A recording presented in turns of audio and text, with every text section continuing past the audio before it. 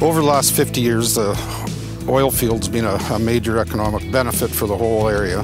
There's many opportunities up here. There's definitely lots of oil left here. Hopefully we'll get some pipelines and the oil companies can actually get world price for their oil and we can ship more, which would benefit this area greatly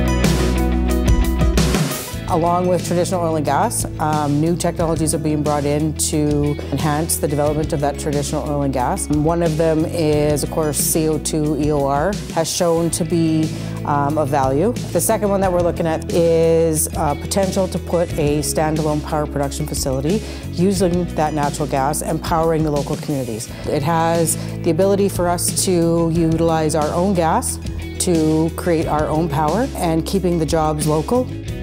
Today we run about 25 full-time employees and we'll get up to about 60 or 70 in the wintertime. Some have been with me since the beginning, um, like 10-year employees for sure. With the camps and remote lodging and general trucking, we, we stay busy. There's enough to do in this area. There is a lot of oil and gas still here. It is very rich in natural resources. Rainbow Lake is going to be a place to boom again, same with Zama, and north up to Steen River. There is a lot of resources here. We have a new to us company that has come in and is drilling into a zone that hasn't been touched for a long time. With the new technologies that have come forth and have been worked on and have been developed by energy and by oil and gas companies over the last 20 years, they feel that this is an actual prospect. The town itself is excited about this possibility and it could be a game changer here for the north. The people here welcome anybody with open arms, with all their ideas, anything that they're going to bring to the community. One thing I truly found that it's the people that are looking to start a business are the ones who do succeed here.